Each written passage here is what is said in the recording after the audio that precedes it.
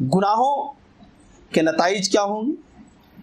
خطرناک اس کے نتائج ہیں گناہوں کے تعلق سے۔ ایک لمبی بحث ہے۔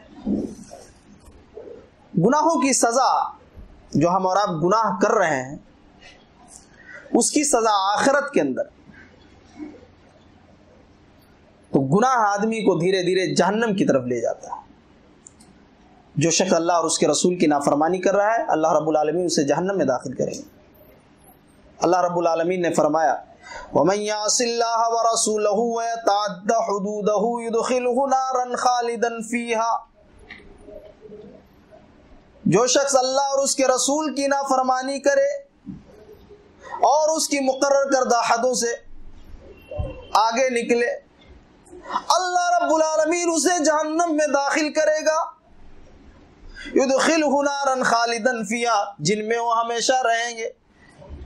فَلَهُ عَذَابٌ مُهِينٌ۔ اور ایسوں کے لیے رسوا کن عذاب ہے؟ اللہ نے فرمایا، تو گناہوں کی وجہ سے آدمی جہنم میں داخل ہوگا۔ اگر وہی گناہ آدمی چھوڑ دے، اعمال صالحہ کرے اور گناہوں کو چھوڑ دے، تو اللہ رب العالمین اسے جنت میں داخل کرے۔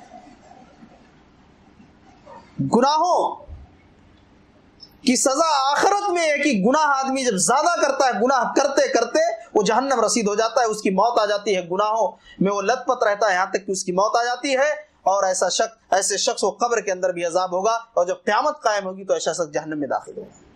اللہ اور اس کے رسول کی نافرمانی کرنے والا شخص جہنم میں داخل ہوگا۔ جس چیز کو شریعت نے کرنے کا حکم دیا ہے، اسے کیا جائے۔